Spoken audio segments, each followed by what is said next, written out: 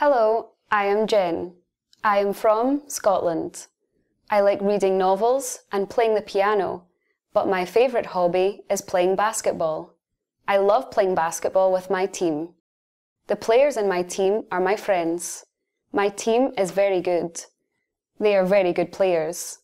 I train three times a week. I train on Mondays, Tuesdays, and Fridays. Also, I play a match at the weekend. I usually play a match on Sundays. We train and play the matches in the sports centre. We have a lot of fun.